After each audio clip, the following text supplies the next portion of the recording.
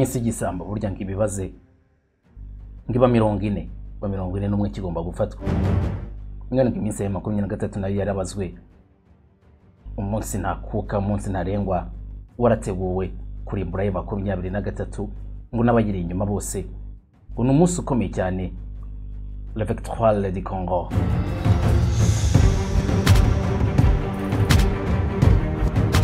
Ni insinzi ya congo ni umunsi w'insinzi umunsi w'icyubahiro umunsi wo kumena champagne maze umunsi wo kwicara ku ntebe Tshisekedi akagereka akaguru ku kandi mu gihe azaba arangije iyo gahunda.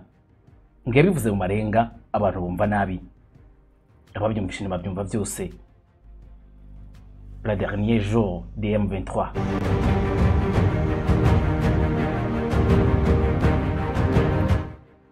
Ni byo Tshisekedi Chilombo yatangaje yuko umunsi azaba agiriwe icyizere cyo gukomeza gutegeka Repubulika ya Demokarasi ya Kongo muri aya matora. Akarangira atsinze azahita yerekana ko ari Tshisekedi Chilombo Beto umutaminwa utajya wibasirwa n'umwanzi kandi udatinya intambara. Ahubwo uzi neza icyo akora n'icyo gukora. E makumyabiri na gatatu yigize akara kajya he? Muri iyi minsi iri mu bufatanye bukomeye cyane n'abandi barwanya Repubulika ya Demokarasi ya Kongo. Bakoze ihuriro rishya baryita FC babikoreye muri Kenya. Aho muri Kenya ni ho bahise bafatira umwanzuro w'uko bagiye guhangana n'ubutegetsi bwa Tshisekedi. Bakabwereka yuko bababajwe cyane n'ibiri kubakorerwa ngo barambiwe cyane n'imitegekere ya Repubulika ya Demokarasi ya Kongo maze bagahuza imbaraga bakarasa ku butaka Repubulika ya Demokarasi ya Kongo mm. nyamwanga kumva ntiyanze no kubona. E makumyabiri na gatatu ngo yabwiwe neza yuko igomba kurambika intwaro hasi igashyirwa mu buzima busanzwe irabyanga. Ikuvugutirwa umuti. Mureke gusa amatora arangire maze ngo bitangazwe ko Tshisekedi atsinze. Dore ibigiye gukorwa mu kandi kanya gato ariko mbere yuko mbikubwira naba nkoze nabi ntabanje nakwakira ndetse no kuha ikaze ndi umuhungu wa kamanzi w'uruwande kaze.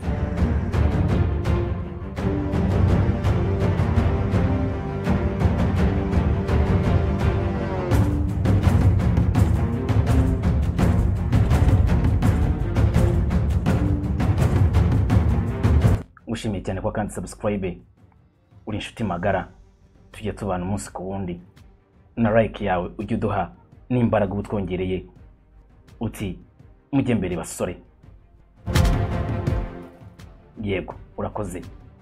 I makumyabiri na gatatu ni umutwe washinzwe ushaka kurengera uburenganzira bw'abakongomani bavuga mu kinyarwanda cyane cyane mu bwoko bw'abatutsi mu kivu amajyaruguru barahanyanyaje bararwana barwana inkundura na FARDC igisirikare cyari cya Kongo ariko kandi bigaragaza nk'abafite imbaraga zo gutsinda Repubulika ya Demokarasi ya Kongo Tshisekedi mu gutsinda uyu mutwe utaramanza wigaragaza ngo byari kuba ari bibi cyane kuri we.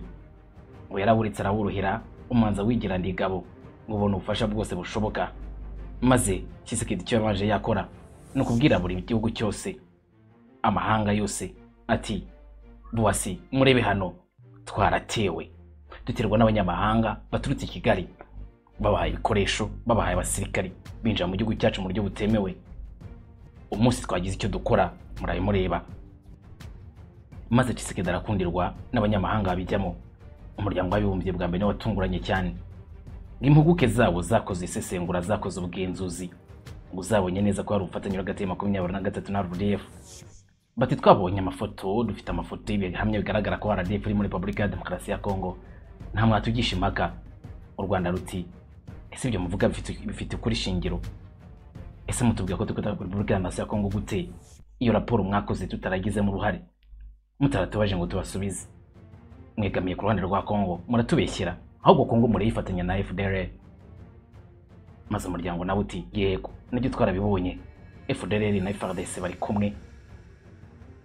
Nka musaza na mushiki barafatanije bafatanyije mu biganza. Ngo ni ukurimbura makumyabiri na gatatu. Oya nako RDF niko abakongomani babyita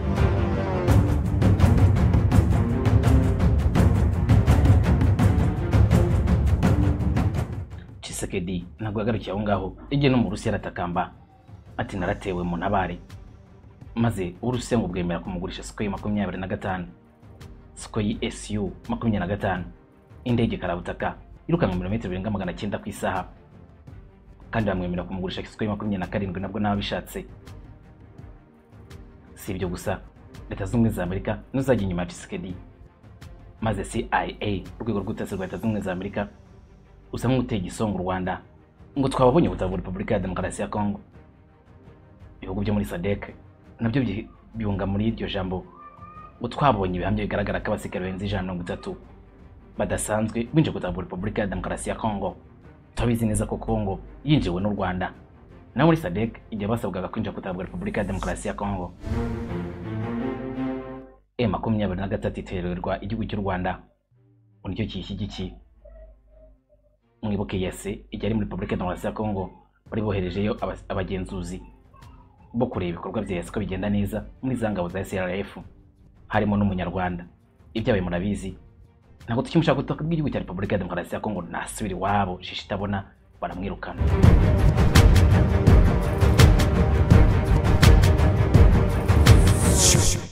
Muri uyu munsi muri Repubulika ya Demokarasi ya Kongo baravuga ko n'ubundi nyuma y'amatora intambara ishobora guturika.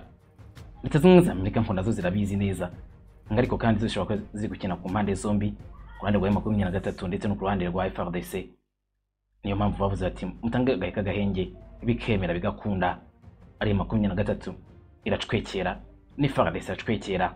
Abagaragu ba leta zunze ubumwe za amerika niko bari gushinjwa muri iyi minsi.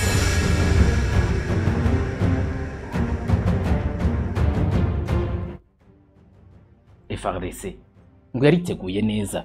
Nyuma y'aya matora Tshisekedi amaze kuyatsinda i makumyabiri na gatatu igiye kuzihanizwa. Wari uzi ko hakozwe akazi gakomeye. Ibikoresho bya gisirikare byanyu mwabonye ku rugamba ugomereye ku ndege z'intambara. Uyu munsi ziri kuvugururwa ku buryo bukomeye zicomekwaho za bombe ibisasu imbunda za rutura. Ngo bizaba ari umuriro. Umunsi bazaba batatse makumyabiri na gatatu ikinyamakuru na cyo cyabyanditse. Reka mfungure iyi paji na byo mbikubwire. Mu gihugu cya Georgia harimo kongererwa ubushobozi kajugujugu esha- esheshatu z'intambara zigera muri Repubulika ya Kongo ubundi zigakora akazi. Kajugujugu- zigera muri esheshatu. Za Repubulika ya Demokarasi ya Kongo. Zikongererwa ubushobozi kugira ngo zizarashe M makumyabiri na gatatu African Intelligence itangaza ko kampanyi yahawe ikiraka na Repubulika ya Kongo yahawe amabwiriza ko ubushobozi buzongererwa kuri izi ndege buzaba buyishoboza kurasa kure cyane no gutinda mu kirere nta mbogamizi mu gihe zizaba ziri kurasa kuri makumyabiri na gatatu. Izi ntagaritse uko yi ahubwo ni kajugujugu za gisirikare. Izi ndege ngo zageze muri iki gihugu zikaba ziri ahabugenewe aho biteganijwe ko muri werurwe na makumyabiri na kane zigomba kuba zahageze bityo zigakoreshwa mu guhashya umutwe makumyabiri na gatatu. Ubyumvishe neza? Mu mwaka utaha tuzaba tukibona makumyabiri na gatatu mu ntambara.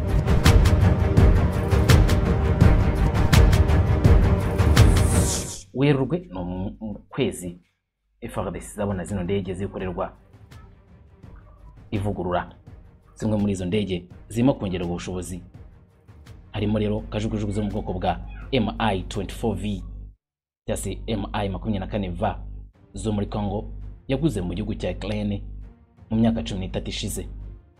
Ntabwo ari kajugujugu zirimo kongererwa ubushobozi ariko gusa kuko hari n'izindi ndege ebyiri zo mu bwoko bwa Sukhoi SU makumyabiri na gatanu UB izi ndege na zo zikongererwa ubushobozi mu buryo budasanzwe ngo zizihanize makumyabiri na gatatu. Izi ndege biteganijwe ko zigomba kuba zageze muri Congo mbere yo muri Werurwe.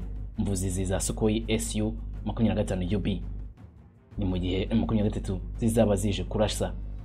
Nayo iri mu gahenge k'intambara.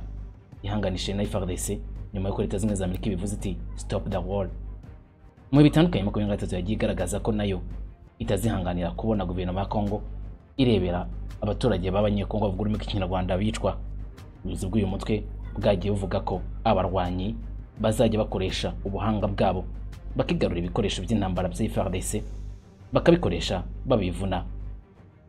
Ubwo n'izi ndege zizaba iza makumyabiri na gatatu bajyaniye makumyabiri na gatatu ku ruganda.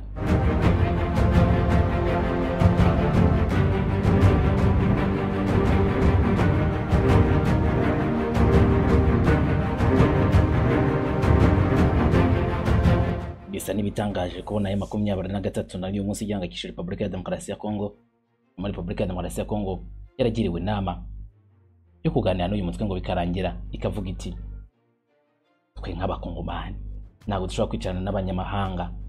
Ibyihebe byo muri makumyabiri na gatatu ntibishoboka. Ntabwo tuzigera na rimwe tuganira nabo. Naho mwakora iki? Nta bizashoboka rwose. Birumvikana ko muri repubulika ya demokarasi ya kongo ngo ikiriho kandi gitegerejwe ni intambara kuri makumyabiri na gatatu. Ingaruke gato mu matora ariko muri iyi minsi agomba gusoza ngo ubundi FRDC igatangira akazi ku itegeko rya faci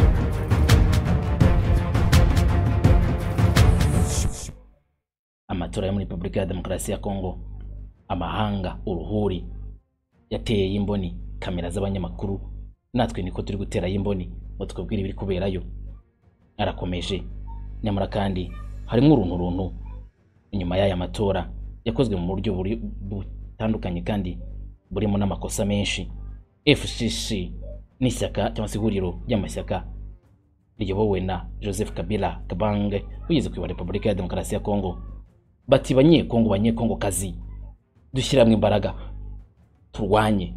Twirukane. Umwanzi Tshisekedi ku butegetsi. N'impuzamashyaka Front Commis pour le Congo FCC ya Joseph Kabila wahoze ari perezida w'iki gihugu. Yahamagariye abanyekongo guhuza imbaraga bagashyira iherezo ku butegetsi bwa perezida Felix Antoine Tshisekedi Tshilombo uyoboye iki gihugu. Ubutumwa FCC yatanze mu itangazo yageneye abanyekongo kuri uyu wa kane tariki makumyabiri n'umwe ukuboza na makumyabiri na gatatu. Nyuma y'amatora yabaye ku gatatu tariki makumyabiri ukuboza n'amatora FCC yanenze imigendere yayo yikoma by'umwihariko perezida Tshisekedi kuba ari nyirabayazana y'imvururu zishingiye ku matora zikomeje kuba muri Kongo iyi mpuzamashyaka yavuze ibi mu gihe hari abanyapolitiki batanu biyamamarije kuyobora Kongo basabye ko ariya matora yaseswa agategurwa bundi bushya. Nyuma yo kugaragaza ko yaranzwe n'inenge nyinshi. FCC ku ruhande rwayo yavuze ko igihe kigeze abanyekongo bavuga rumwe cyangwa se bakunga ubumwe mu rwego rwo gushyira iherezo ku butegetsi y'isi bw'igihugu ubutegetsi bw'igitugu buyobowe na Tshisekedi muri Kongo FCCT FCC irahamagarira abanyekongo gufata inshingano hanyuma mu gushyira mu bikorwa ibiteganywa n'itegeko nshinga bakunga ubumwe nk'umuntu umwe mu rwego rwo gushyira iherezo ku butegetsi bw'igihugu bukoresha nabi ubushobozi bwahawe n'abaturage mu kwica itegeko nshinga n'amategeko ya repubulika FCC by'umwihariko kandi yanenze umuryango mpuzamahanga kuko uba ukomeje kuruca ukarumira ntugire icyo uvuga ku biri kubera muri Congo. Ibi na byo ngo bikaba bigomba gutuma bihita bikorwa byihuse maze Tshisekedi akirukanwa ku butegetsi muri Repubulika ya Demokarasi ya Kongo.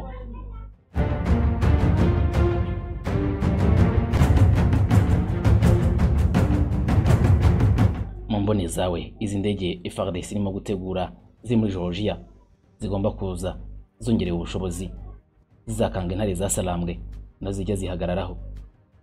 Ese bazasanga zarabaye ihene zasalambwe cyangwa ingunzu zasalambwe nako zaba zifite imbaraga. Isazi zasalambwe oya ngo nabo bari kongera ubushobozi. Bazasanga noneho barabaye intare z'inkazi. Uko intare y'ingore ivuga ku muhigo ngo ni nako nabo bazarwana barwanya umwanzi adui FARDC Wazalendo FDLR Wagner Group n'abandi bose ifatanije. Ngo ntabwo makumyabiri na gatatu izatinya izi ndege nk'uko itigeze zitinya byakunze kuvugwa. Na Willy Ngoma umuvugizi wa gisirikare wa makumyabiri na gatatu uvuze ko makumyabiri na gatatu itazigera itinya ubufatanye bwa Kongo n'abambari bayo mu guhangana nabo. Nsubikiye aha ngushimira. Wakoze kubana natwe. Shalom.